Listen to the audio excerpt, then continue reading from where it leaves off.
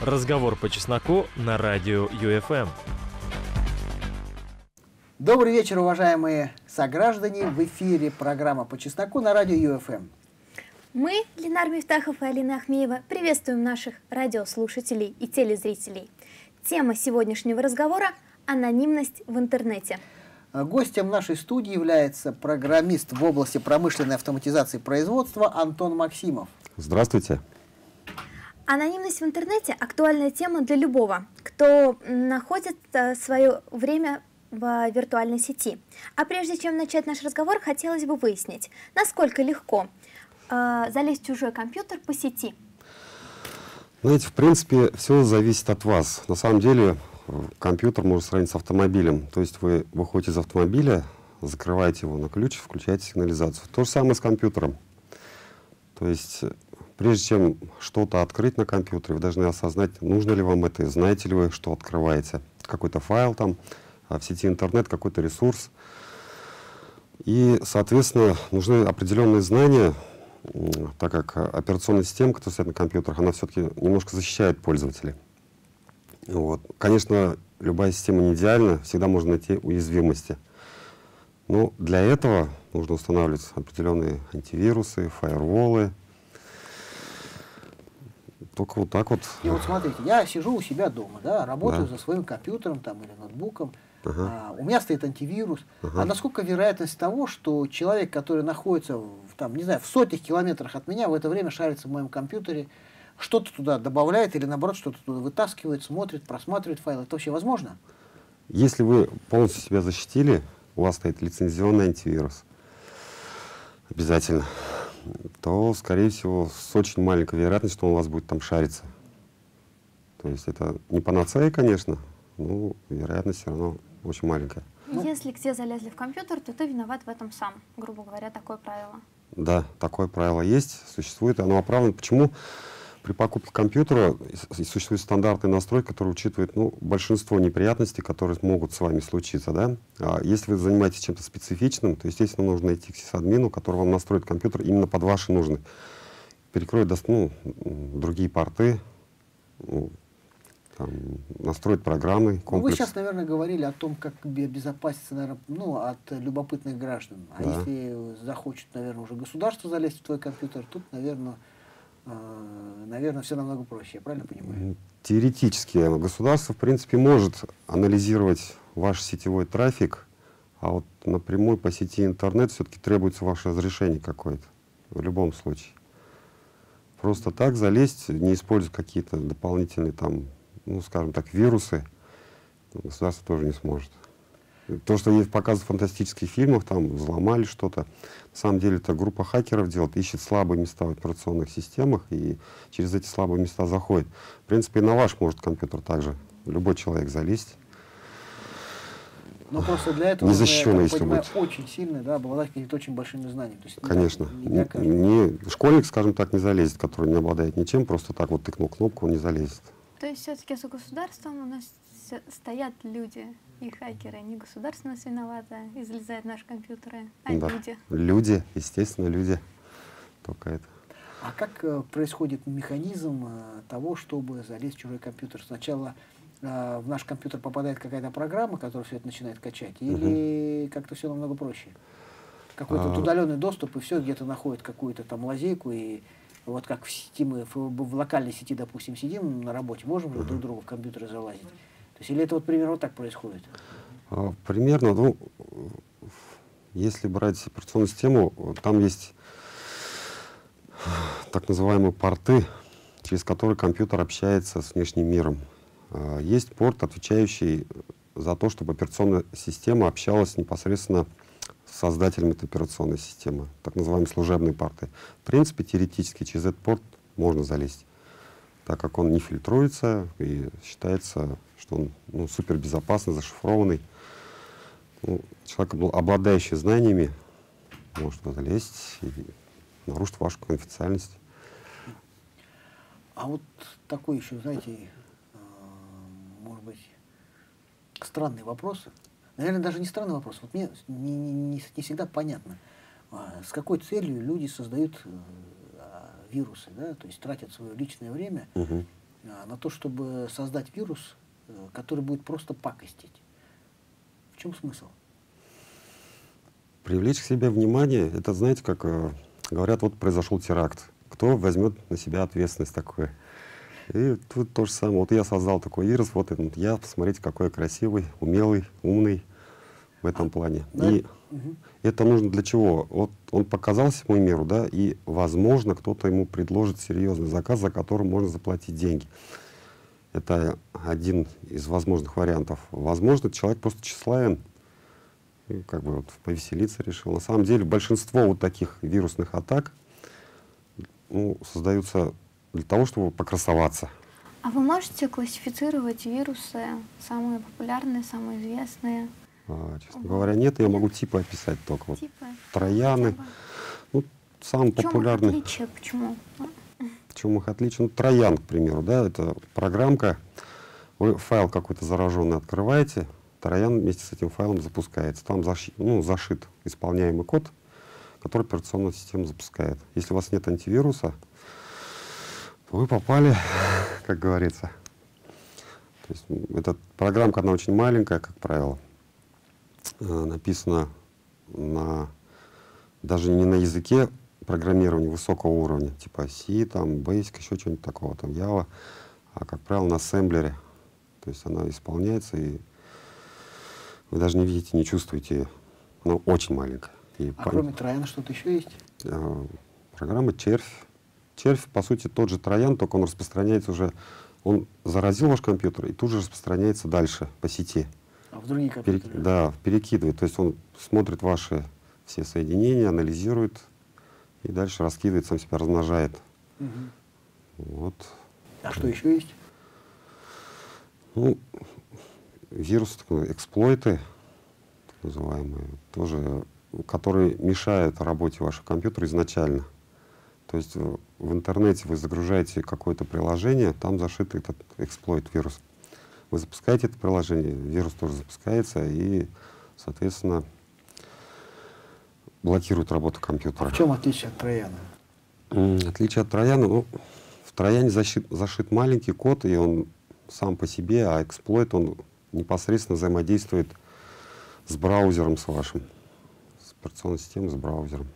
Ну, вот вы сказали, что люди создают э, вирусы для того, чтобы прославиться. Да, как правило. Но, допустим, когда мы смотрим телевидение, когда мы сидим в интернете, мы очень много знаем о поп-звездах, там, о звездах кино и так далее. А где знаменитые люди, э, вот, которые создают вот эти вирусы, где они красуются? Ну, прославиться в узких кругах имеется в виду. Не для всего мира, хотя это тоже имеет место быть, а для своих. Вот видишь, я там завалил Пентагон, там, видишь, я тут взломал этот компьютер, То есть какая-то существует какой-то некий клуб свой, да? Даже не клуб, а субкультура, я бы даже сказал. Хакеров. Хакеров, программистов таких вот. Целый мир. Целый мир свой, да. И, короче, им там хорошо. И там сами так как черви тоже, я так Да, чувствую, да, да, там да, живут, да, да, копаются, Живут, копаются. радуются своим успехам. Мгм. А анонимность, э, анонимность в интернете, она возможна или нет? Вот мы же привыкли, что ты зашел на какой-нибудь форум, а, можешь там писать все, что угодно, написано, что ты зашел анонимно, некоторые люди себя ведут очень часто там некорректно, а, могут э, а, других оскорблять, могут э, вести себя, пользоваться нецензурной лексикой. А они насколько действительно анонимны? И для кого они анонимны? Анонимность, скорее всего, не только для рядовых пользователей, скажем, для тех же модераторов, которые следят за форумом, они уже не анонимны, потому что там виден IP-адрес данного пользователя. Ну, за исключением некоторых случаев. Допустим, если человек зашел через частную сеть, э, частную виртуальную сеть, об этом тоже можно поговорить потом. А, В остальном, в принципе, государство все это отслеживает. Есть специализированные программы в сети, так называемые сенсоры, которые фильтруют все эти потоки информации. На самом деле, может быть, слышали, там какая-то программа в Америке есть, там, которая фильтрует частную переписку по словам ключевым каким-то, там, терроризм, там, еще что-то такое, вот, да. Ну, даже есть анекдот такой, там, хочешь, чтобы тебя сеть ловила лучше, скажи по телефону, там, вот хочу взорвать бомбу, тебя тут же сеть улучшится. Ну, типа такого вот. А есть определенные программы, которые а, помогают тебе быть анонимным, да? да? А, программы нет, есть определенные методы. Ну, программы реализуют эти методы, да. Вот самый наиболее популярный и более простой, да, так называемые прокси-сервера. То есть вы вбиваете какой-то IP-адрес, ну, прокси-сервера в вашем браузере. И этот браузер ну, подсоединяется к этому серверу, и от имени этого сервера вы можете, в принципе, на любой сайт залезть, и сисадмин там или модератор будет видеть именно тот IP-адрес, который предоставит ему этот прокси-сервер, не ваш IP-адрес. Обманываешь. Обманываешь, да. Но а. и тут уже следы как бы вообще никакие не останутся, да? То есть нельзя ну, уже будет все, найти. Все зависит от того, как надавить на этот прокси, на хозяев этого прокси-сервера, а насколько вот доступны такие механизмы, насколько может неподготовленный обычный человек вот так вот Легко. В интернет зайдите, наберите там в адресной строке в Яндексе в том же, да, бесплатный прокси-сервер. Есть программа, та же вот браузер Tor, может быть, слышали? Да. Он автоматически выбирает такие прокси-сервера и спокойно залазит на них. И вы уже анонимны, якобы, считаетесь. А эти прокси-серверы, их кто вообще создает? И с какой целью? Ну, с целью, с какой мне лично непонятно, но вообще говорят, чтобы интернет был анонимен и общедоступен и свободен под такими лозунгами. Ну, ясно. Кстати, хорошая идея для того, чтобы... Ну, наверное, спецслужбы тоже создают такие ну, сервера. Для себя, конечно. И... Чтобы людям создавать э, э, ощущение, что они анонимны. А если, допустим, э, можно обмануть да, какие-то и структуры, и людей, и то есть воспользоваться то есть ну, запутать свои следы в интернете. Угу. Насколько вам кажется необходима ограниченность, а ограничить анонимность в интернете? Есть ли в этом необходимость, какие меры а, можно принять и к чему это может привести?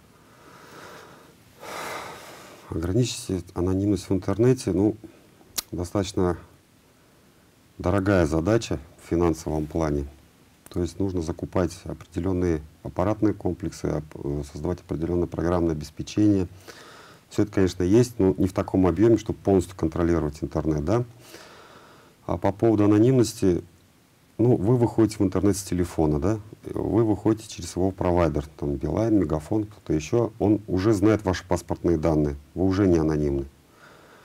А, во многом, э, по-моему, в августе 2014 года вышло постановление, 753, по-моему, даже, Дмитрий Медведев его подписал, о том, что любая Wi-Fi точка в общественном доступном месте обязана собирать данные о том, кто заходит в эту Wi-Fi зону. То есть вы, когда подключаетесь к этой Wi-Fi точке, у вас, как правило, ну, тоже Макдональдс, наверное, были, там запрашивается номер телефона, потом вам приходит смс, вы логинитесь в эту Wi-Fi сеть. То есть вы, по сути, передаете свои данные, вы идентифицируетесь, вы не анонимны.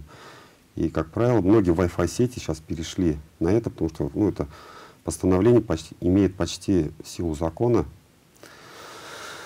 А если просто в кафе ты подключаешься, это свободная сеть, то, в принципе, данных никаких или все равно? На самом это деле... нарушение получается. Во-первых, это нарушение, а во-вторых, ну, на самом деле все равно Wi-Fi точка, ну, то есть владелец этой Wi-Fi точки собирает уникальный код вашего устройства, снимает этот уникальный код, он, в принципе, прописан. Если посмотрите, вот откройте книжечку с вашим техпаспортом, ну, карантинным талоном, имей, так называемый, да? Имей телефон все равно считывается. То есть вы все равно не анонимны.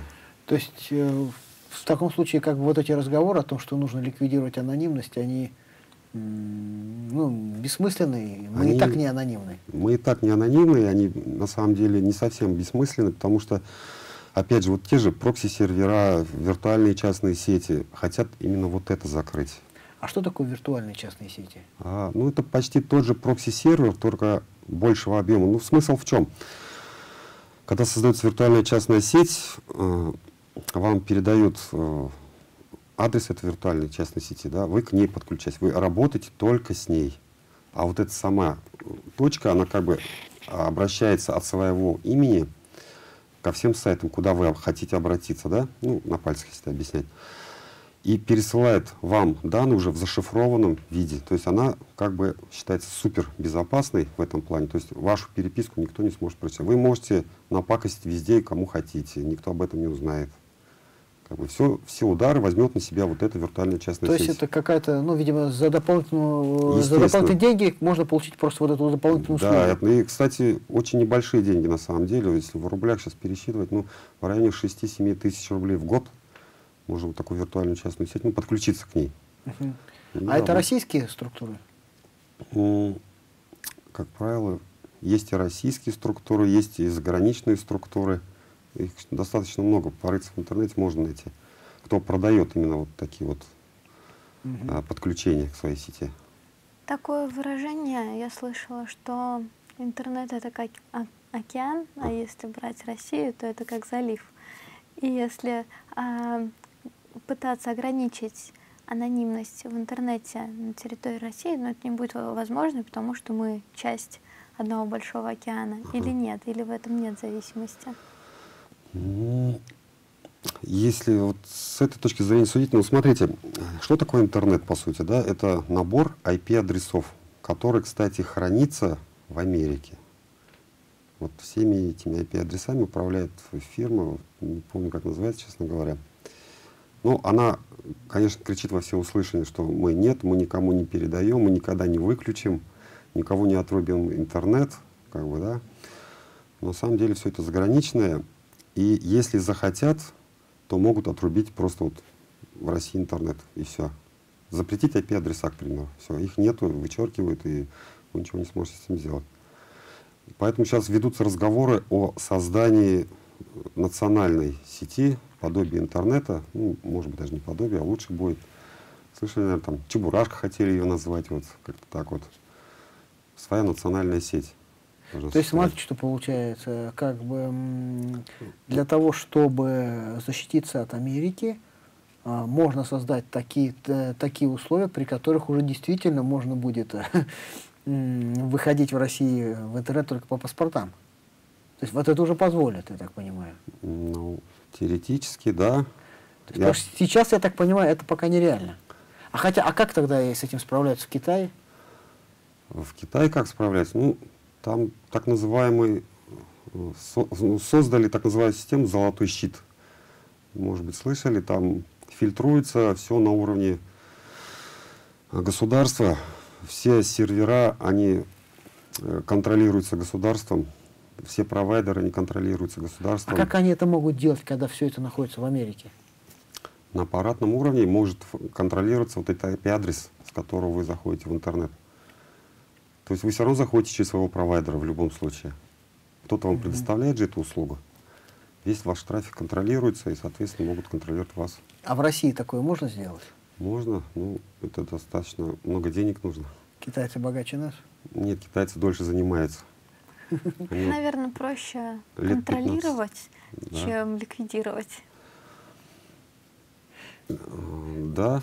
Ну а вы как относитесь вообще? Вы, вы считаете, стоит ли это вводить? э, Чтобы вот э, мы, допустим, вот когда хотим полететь на самолете, Ага. мы предъявляем паспорт, покупаем билет.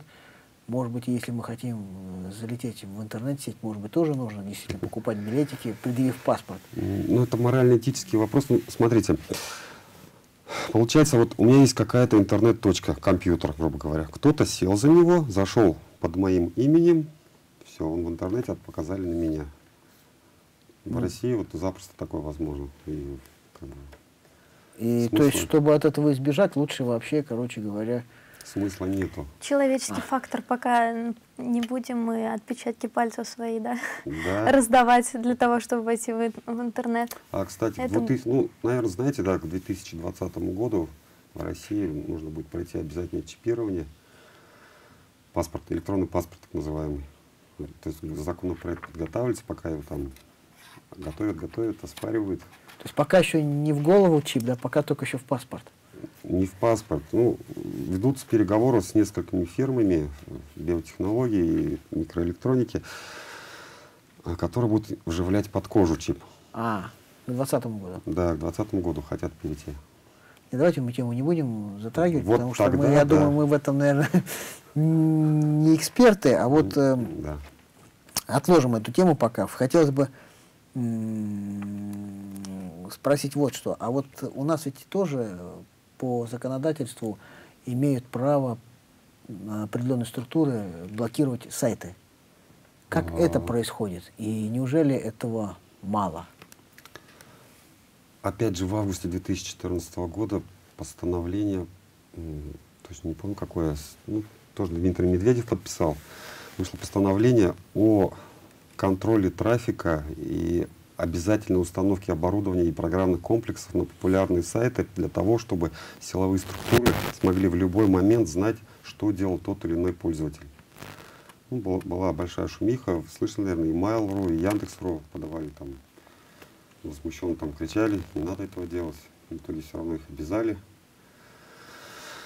Ну, и сейчас государство знает, какая у вас почта, что вы там с этой почтой делали, кому писали, что делали. Ну, по-моему, для почты и так есть большие возможности. А, То есть, да. если кому-то становится известна твоя почта, ну, это частный- же целый бизнес можно устроить. Да, это спам, так называемый. Но есть частная же переписка, которая тоже контролируется государством. Уже Неофициально. официально, на официальном уровне. Вышло постановление, которое подписал президент. Не, но это же нарушает уже конституционные права. Я не прав? Согласен. Есть федеральный закон номер 153 о защите персональных данных. Ну, во благо, скажем так. А, ну, в принципе, как бы там есть и определенные человечки, может быть, зелененькие, может, какие-то, то есть они как бы смотрят, но другим не пересказывают. То есть, да, им да, можно. да. И почему возмущались, кстати, провайдеры, не провайдеры, а поставщики вот этого контента, то есть Mail.ru, Яндекс тот же, да. Потому что, а кто будет контролировать? Вот эти чиновники, которые будут там сидеть, почему они?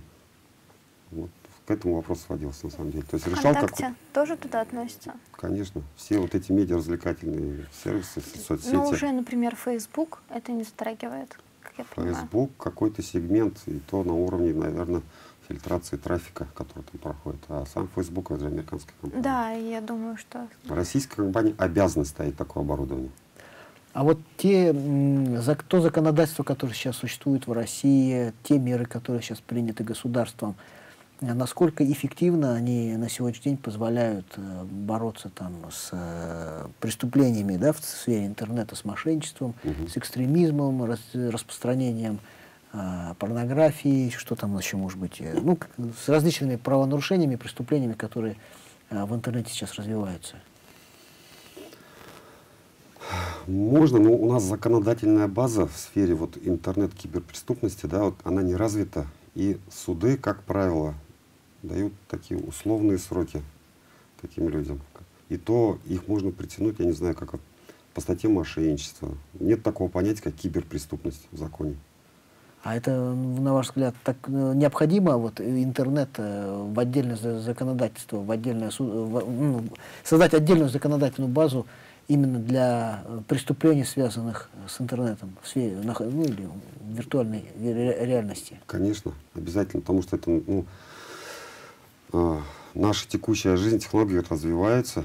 И я думаю, интернет завтра не исчезнет, он не исчезнет и через 50 и 100 лет, скорее всего, тоже не исчезнет. То есть сети, как минимум, не интернет-законодательство, а, скажем, кибер, цифровое какое-то законодательство. Вот, по Потому контролю. что велись разговоры, споры о том, что, может быть, а, интернет отнести вообще к средствам массовой информации и ну, просто внести какие-то изменения в законодательство о средствах массовой информации и регулировать так. Либо это совсем из другой оперы, нам нужны новые законы. И те, кто очень любит интернет, кричат о том, что интернет не должен никак регулироваться, оставьте его в покое, законами он не должен облагаться. То есть вот такая в мнениях. Тут, да, тут палка о двух концах. Получается, с одной стороны, да, это средство массовой информации. С другой стороны, интернетом ведь пользуются не только в качестве развлечения, там какого-то э, переписки, пользуются банки, пользуются там, не знаю, э, предприятия, организации, те же вот бухгал- бухгалтеры, они тоже пользуются интернетом. Вот хотят контролировать эти потоки, получается. А, Ну и как бы, короче, тут уже возникает вопрос коммерческой тайны. Да, И так да, далее. да. Мгм. А вам не кажется, что вот э, люди, которые м, стали на преступный путь и очень неплохо себя чувствуют в интернете, ну, они всегда найдут возможность э, остаться анонимным и обмануть э, всякие эти ловушки.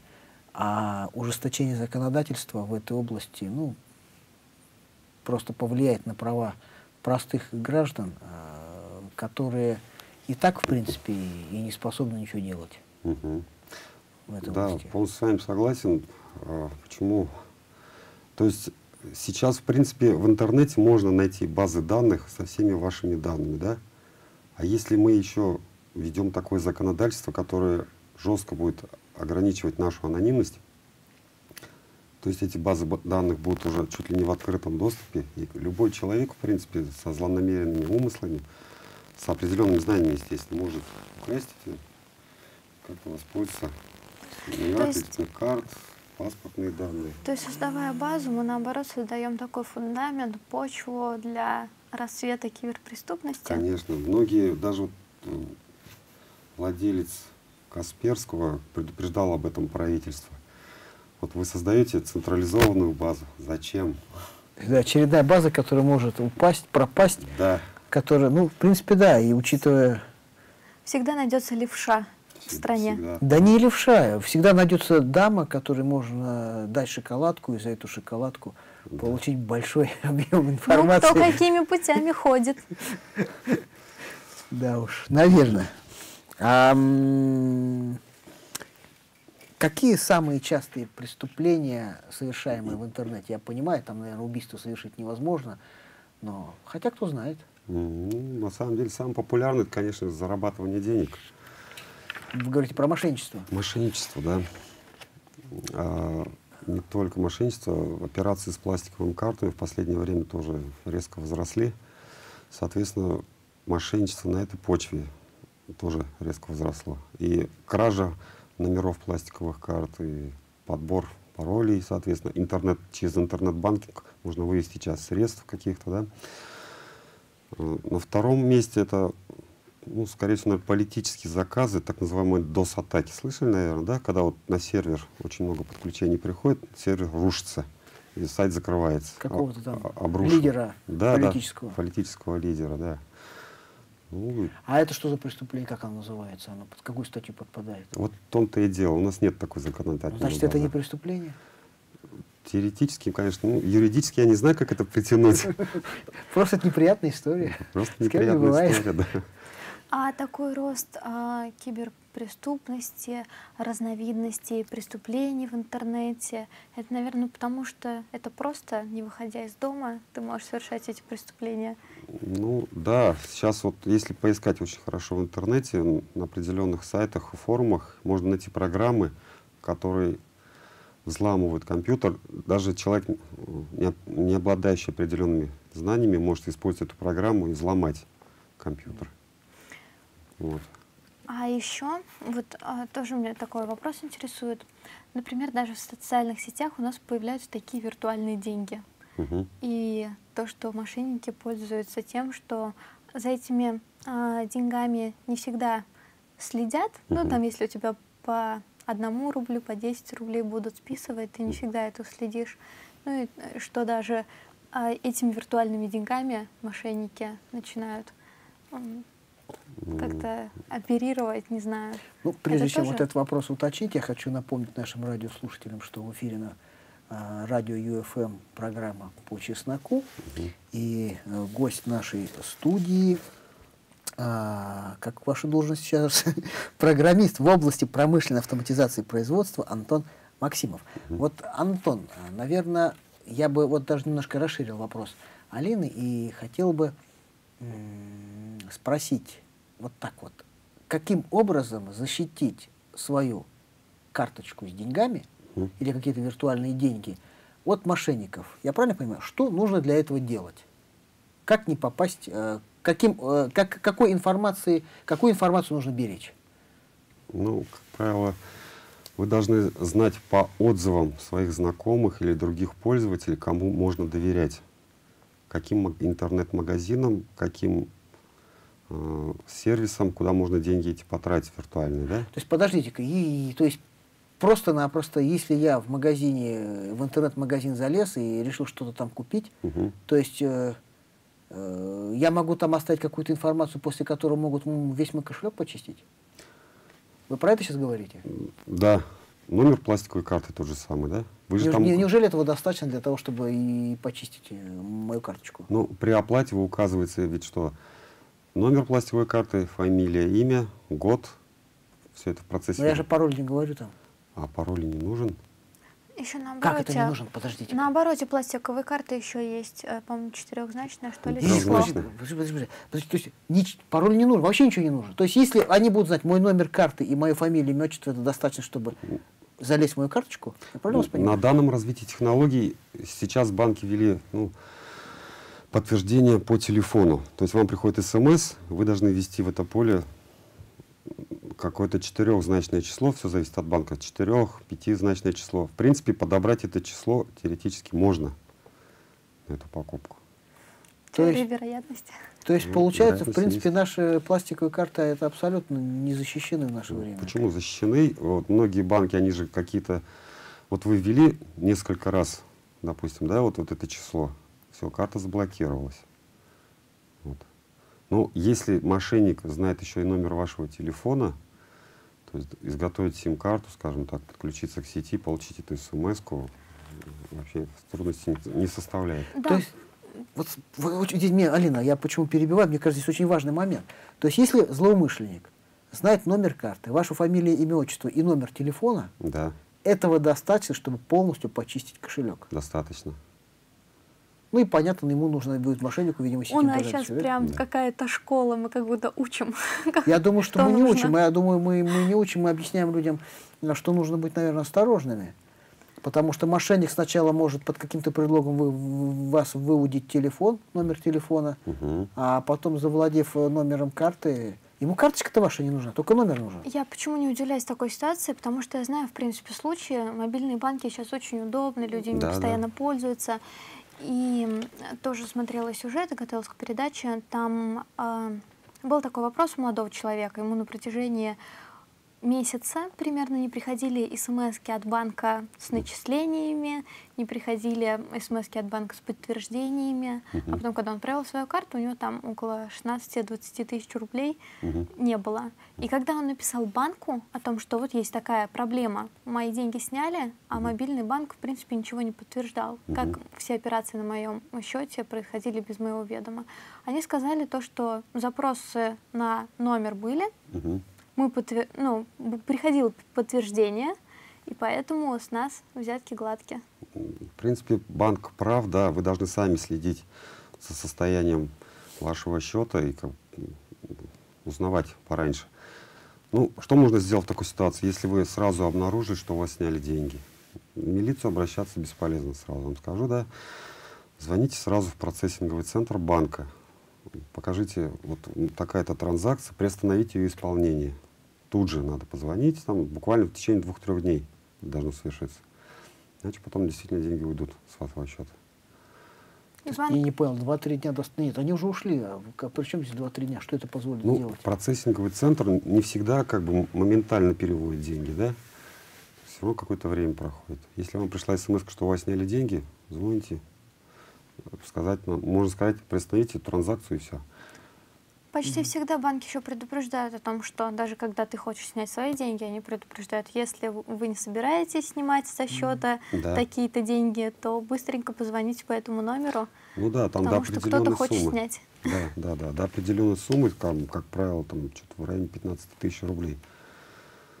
А потом А, начинают Ну, а если э, вернуться как бы к теме, а, к разговору об интернете, каким образом а, нашу молодежь, наших детей можно оградить от грязи в интернете? Какие бы вы советы могли дать родителям? Ну, Существуют определенные программные комплексы, даже вот сама операционная система Windows их содержит.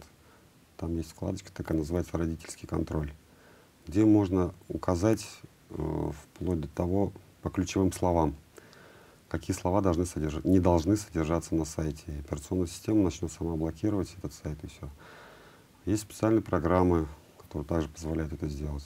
В интернете их куча, они бесплатные, как правило, тоже. скачивайте, пожалуйста. И самое главное, я считаю, вот с ребенком нужно поговорить, куда он ходит в интернете, с кем общается, установить доверительные отношения с ребенком. Потому что, в принципе, ребенок тоже может стать жертвой мошенников. Конечно, да. И определить, ой, объяснить определенные ситуации, допустим, он общается с каким-то человеком, что можно говорить этому человеку, чего нельзя говорить. Вот в этом плане. Только так. А вот мы тут э, до эфира как раз еще одну проблему обсудили, да? А, Интернет стал площадкой для людей, ну, с, видимо, с определенными там отклонениями в голове, которые Ну, пытаются да. реализоваться, унижая других людей. Да, и в частности, Да. это молодежь. Вот не могли бы немножко рассказать, о чем идет речь и как этого избегать, как Ну. э, родители, может, ну, научить э, своих детей правильно вести. Ну, здесь вопрос воспитания ребенка, на самом деле, да. Мы должны ему объяснить, как правильно реагировать. То есть он на улице идет Реагировать на что? на оскорбление, вот, на унижение. Он же на улице выходит, вот его начинает унижать, что он делает? Ну, там, Ну. понимаете, там можно ответить, да. А вот чем интересен как бы интернет, Мгм. а, ты, во-первых, не видишь человека, особенно, да, для молодого человека это вообще тоже как бы очень обидно. Он не видит объект, который э, его пытается унизить, Мгм. и, видимо, это может вызвать определенные серьезные и психические расстройства. Ну, Наверное, если он в жизни может ответить, то он в сети тоже может ответить. Скорее всего так, но все-таки, да, вот родитель, он должен научить ребенка, то есть он видит, что его, ну, как сказать, унижает, там, не знаю, оскорбляет, ну, просто выключить компьютер, к примеру, да, ну, просто выйти с этой странички, не Ну, заходить ну, туда. получается, что он по плевуху получил и ушел. Но вот не каждый молодой человек с этим будет согласен. Согласен. Нужно учить ребенка. Просто и все. Общаться, коммуникация. Мы коммуникация, же да. возвращаемся к тому, что интернет это в первую очередь средство коммуникации, оно создавалось как средство связи. Мгм. Поэтому нужно принимать его минусы, как и его плюсы. Вот, кстати, мы о минусах, о минусах говорим, и мы привыкли, что в интернете там действительно и ругаются, и мат там, э, нецензурная лексика, все что угодно. А как вы думаете, вот в таком светлом, красивом обществе, может быть, в таком обществе, где действительно будет, не будет анонимности в интернете, а может какими-то другими путями, вот интернет может стать средством, а, таким средством, которое вообще сможет поднять общий уровень культуры нашего населения, и люди, пообщавшись в интернете, выходя на улицу, будут себя вести более красиво, культурно. Ну, вы сейчас рассуждаете о тоталитарном режиме. Вот я слышу вас и думаю, вот, ага, человек вот красиво думает, культурно будет. Это значит, будет вот большой брат сидеть сверху, и каждому говорить, что ему делать, как ходить, как одеваться, о чем говорить, о чем думать, в конце концов. Интернет — это площадка, и человек может высказать то, чего он не может высказать, скажем, на улице, грубо говоря, вот так вот. Причем ты используешь ту лексику, которую хотел бы. Ту, который хотел бы, да. А вот воспитывать интернетом, я думаю, это нереально. Почему? Потому что интернет это все-таки инструмент, а не поле какой-то там деятельности. Такой вот. То есть вы как бы не верите в созидательную силу интернета. Созидательное, Воспитательную. воспитательную абсолютно не верю. Воспитывает общество в первую очередь. А интернет, он как бы площадка, как инстру- отражение реальности. Не, а как инструмент, который мог бы быть использован. То есть, на ваш взгляд, он не может стать инструментом. Может, Общество. почему? Может. Но интернет, он же принимает как положительное, так и отрицательное. Это не плохое, не хорошее, он есть. А, Наверное, он охватывает а, слишком большой срез населения, поэтому ну, конечно, там да, будет всегда и плохое, и хорошее. да. То есть у кого-то есть отклонение, у кого-то нету. Сам себя будет держать на волне. Да, все верно. Ну и, наверное, последний такой э, вопрос в нашей программе, а, поскольку наша программа уже подходит к концу. А, э, вопрос немножко такой философский. По вашему мнению, виртуальная жизнь это лишь отражение реальности или нет? Ну да, как я сейчас сказал, да, это отраж... интернет сам по себе это отражение нашей реальности. На самом деле так оно и есть. Почему? Мы же выходим со своими мыслями туда. Все, что мы не сможем высказать в лицо, мы высказываем за этой ширмой, которая является интернет, да, и высказываем там. Мы не видим, нам как не страшно. Вот эти все страхи мы выплескиваем там в интернете. Все страхи эмоционально как бы уже не сдержаны. У нас нет там, э, как я сказал, вот нет общественного договора в интернете. Там есть какие-то определенные правила на форумах, и то они создавались искусственно, и их поддерживает модератор этого форума. А в интернете такого модератора нету. Вот никак попрощаться опять не получается. То есть получается, это и не совсем отражение реальности. Все-таки это виртуальный мир, это все-таки это параллельный мир получается. Нет. Почему? Сейчас объясню, да? Ну, Все, раз что... договор общественный не распространяется на интернет. Да. Ну, мы же привносим это из реального мира все туда. Ну, а в реальном мире у нас есть общественный договор? Конечно. А почему же на виртуальный не распространяется? Потому что это другая плоскость, но в ней также отражаются все наши плюсы, все наши минусы, все наши грехи, желания. Все правильно.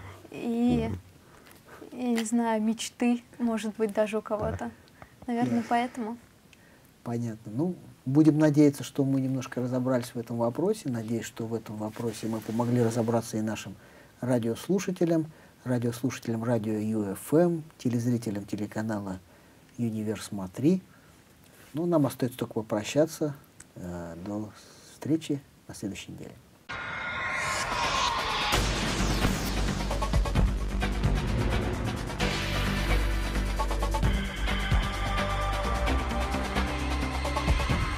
Разговор по чесноку на радио ЮФМ.